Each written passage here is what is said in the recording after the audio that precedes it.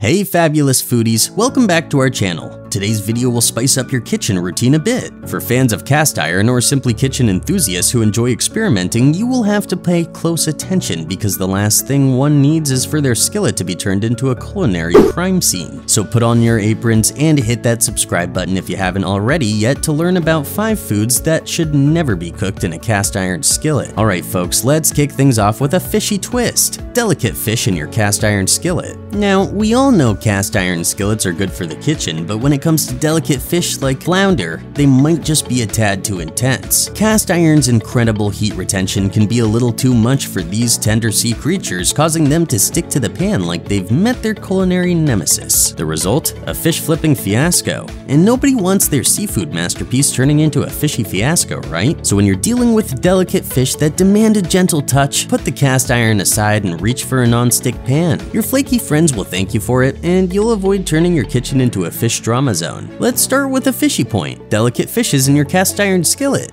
As you probably know, cast iron skillets are great in the kitchen, however delicate fish like flounder might just be a little too intense. The awesome heat retention abilities of the cast iron may be too much for these delicate sea creatures as they will stick to such a pan like their culinary foe. The result? A fish flipping fiasco. And no one would like his or her masterpiece seafoods to transform into a fishy disaster, right? Do not use cast iron in situations when you deal with sensitive fish, which requires a soft approach. It's best to choose a non-stick pan in such such situations. You'll be glad for this as your kitchen won't become a fish version of staying alive. One of the most important elements when it comes to high heat cooking is what kind of oil you are using in your cast iron skillet. While cast iron is a good bet for the blazing high heat scenes, success lies in choosing the right oil. Cast iron can stand the heat effectively, but these low smoke point oils will not have that luxury. Cooking with these precious oils at such high temperatures is tantamount to playing with fire in a very literal sense. This leads you to the burnt oil a meal that has more flavor of regret than cooking wonders. This happens because the oils that have lower smoke points go up in smoke once they are subjected to the high heat of cast iron and all you're left with is a repulsive rancidity which no human palate deserves. However, if you are planning to get that perfect seasoned pan,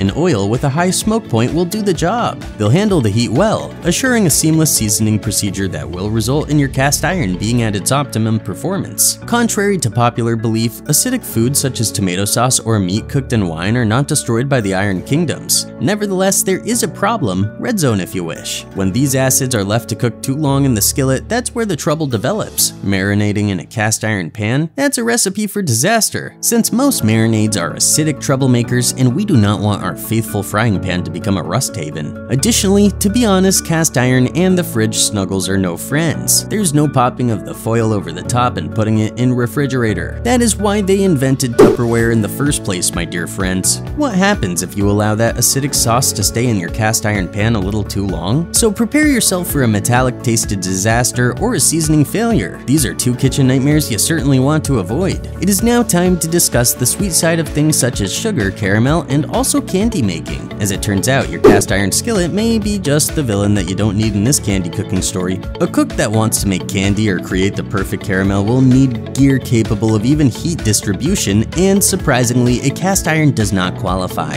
Cast iron is known for heating up unevenly while cooking, and the moment it gets hot, it clings onto that same radiant warmth like a koala on a eucalyptus tree. When it comes to sugar, there's no space for any mistakes. Candy crafting is like a balancing act in the culinary world. When your confection meets an equilibrium point of temperature, color, and texture, you have to bring down the heat while also cooling off as fast as possible. This is how copper dominates the stage, guys. It is the candy-making superhero that delivers the sort of super responsiveness real cast iron cookware can never ever hope to match. So when you need to work with sugar, give your cast iron skillet a rest and let copper steal the show. Remember in the field of candy preparation, the worst that can happen is for a sugary symphony to become a sticky skillet disaster. Suppose that you have decided to cook a satisfying breakfast of scrambled eggs in an ill-seasoned cast iron pan. Spoiler alert, it isn't going to be a very pretty sight. The eggs will stick to the pan as if on a mission, only releasing them after you finally manage it and then cleaning up. Well, I would say that's a kitchen nightmare. Yes, a well-seasoned cast iron skillet should be almost non-stick, but honestly speaking, when was the last time you seasoned your pan? Speaking of grains, like rice, yes, you could try to cook the rice in your cast iron skillet,